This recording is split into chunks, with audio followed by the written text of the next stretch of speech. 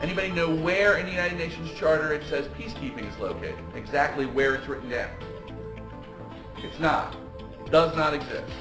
The words peacekeeping are nowhere in the UN Charter. In fact, once the UN Charter was signed, the UN was up and running, the need for peacekeeping became apparent post hoc. Suez Crisis in a nutshell, the new Egyptian president Nasser wants to nationalize the Suez Canal. That one of the primary principles of the UN is the norm of non-intervention. The norm of non-intervention, meaning the UN seeks to solve its problems without going across other people's sovereign borders. As much as possible, the UN tries to not cross someone's borders.